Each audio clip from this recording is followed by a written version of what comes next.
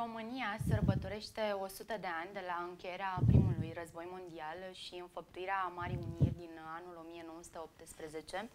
Despre însemnătatea acestui uh, mare eveniment uh, voi discuta astăzi alături de domnul profesor Vlad Nistor, vicepreședinte al Partidului Național Liberal.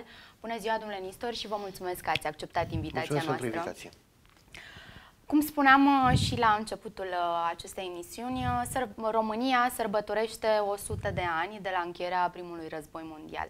Ce înseamnă pentru noi românii acest lucru? Da, orice îi spune în acest domeniu riscă să fie banal, pentru că lucrurile sunt atât de cunoscute și atât de discutate în ultima sută de ani, încât e greu să spui lucruri cu oarecare, cu un oarecare grad de originalitate, dar mă voi strădui. Uh, România a beneficiat de un moment uh, senzațional, de un moment unic, de un moment la care clasa politică românească nu s-ar fi așteptat în niciun fel că s-ar putea întâmpla să fie posibil cu mai patru ani înainte, atunci când în august 1914 uh, la început Europa și apoi întreaga lume intrau în cea mai mare conflagrație pe care omenii au cunoscut până atunci.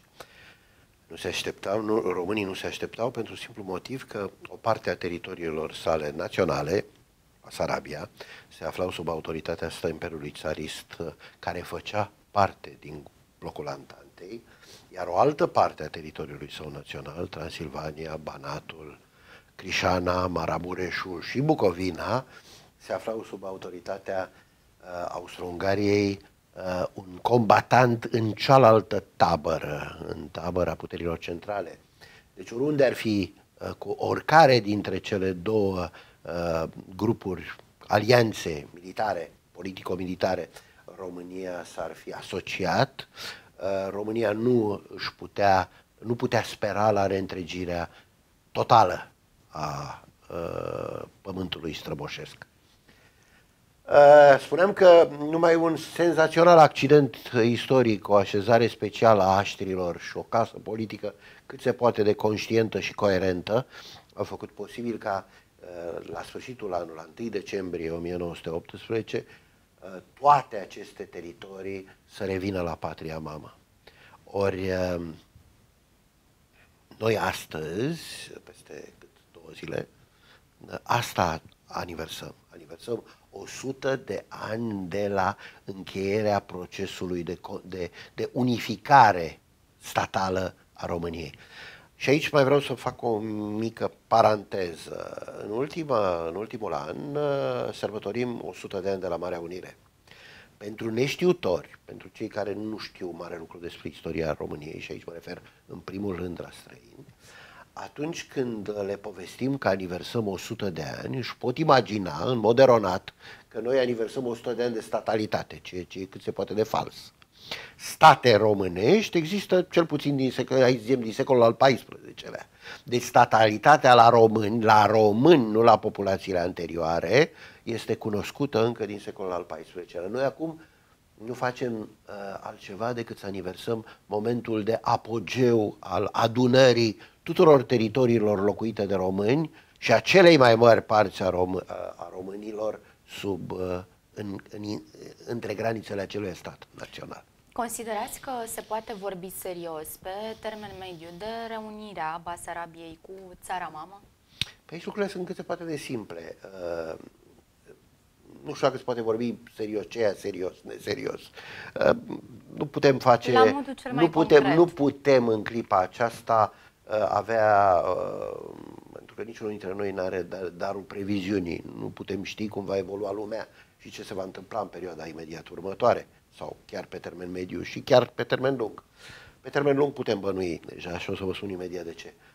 Uh, procedura e cât se poate de simplă și mi-aduc aminte că uh, atunci când uh, o delegație de uh, mulți, foarte mulți primari basarabeni au venit în România în contextul uh, lui 27 februarie, în contextul aniversării 100 de ani de la unirea Basarabiei cu România uh, și au făcut o vizită la Partidul Național Liberal, președintele Partidului Național Liberal, Ludovic Orban, le-a dat răspunsul, cred eu, cel mai potrivit, cu putință.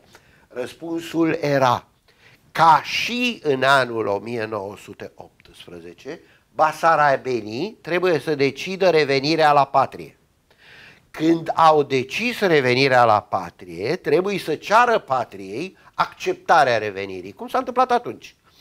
Guver, orice guvern ar avea România și orice șef de stat ar avea România, aceștia nu pot fi altfel decât obligați să o accepte. Pentru că atunci așa s-a întâmplat.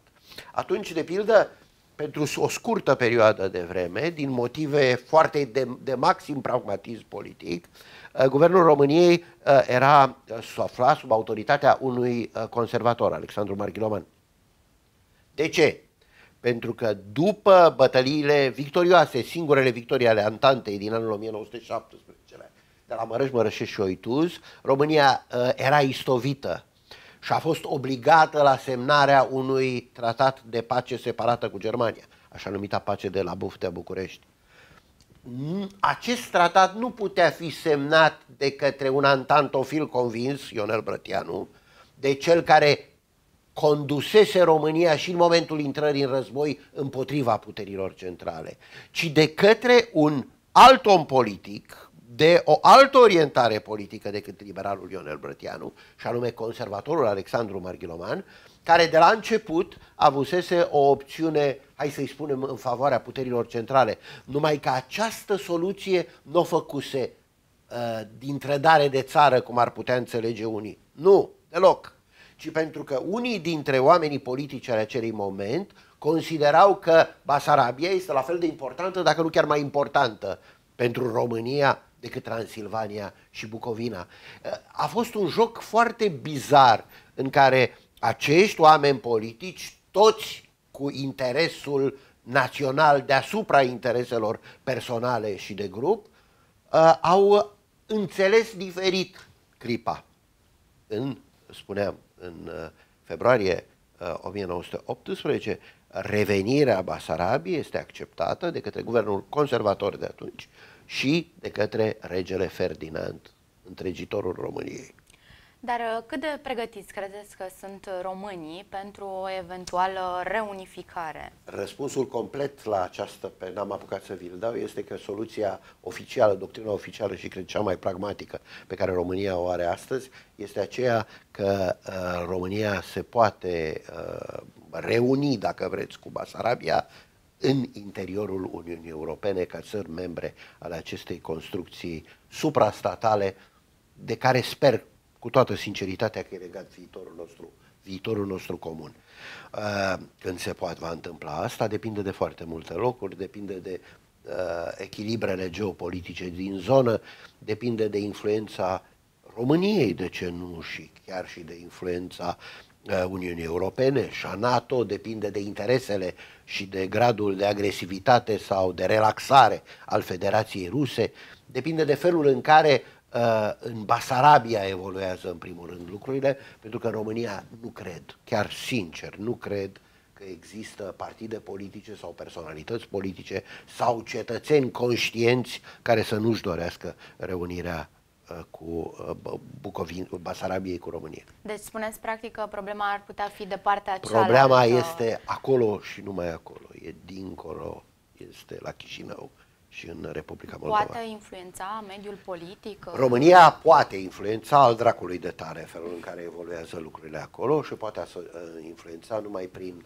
implicarea cu adevărat pragmatică Uh, de natură economică, pentru că de natură culturală și educațională acolo s-au făcut foarte multe lucruri. Mă uitam numai la elita, uh, elita conducătoare de la Chișinău de astăzi, de orice culoare ar fi ea, cea mai mare parte a ei pentru că sunt în marea lor majoritate oameni tineri sau de vârstă medie și au făcut școala în România sau măcar o parte a școlii în România.